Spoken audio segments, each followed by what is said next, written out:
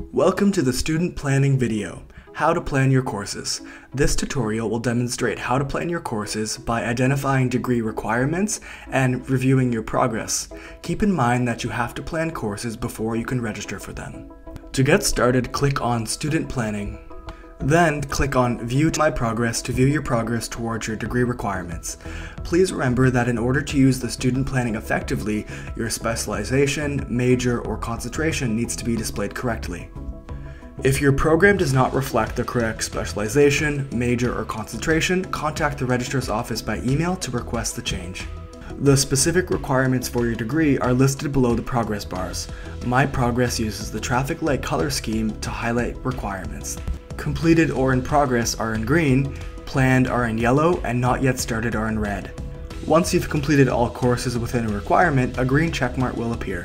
Click on Show Details to see the courses you've completed in that area.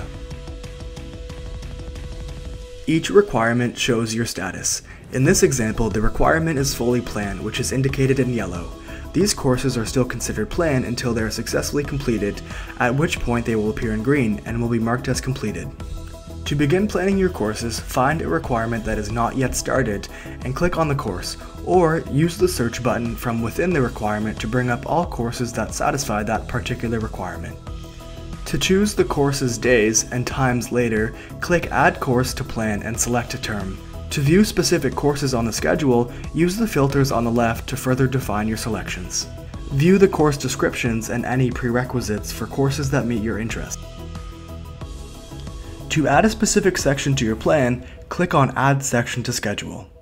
The section details appear, review the details, and click Add Section to Schedule. Your planned course confirmation appears in the notification area. Please remember you are not yet registered. Registration will happen when you confirm your selection, and register to the courses in your schedule area. Continue planning additional courses from the My Progress area for the upcoming semester or for future semesters. To view or make changes to the courses you have planned, go to the Plan and Schedule area and select Timeline.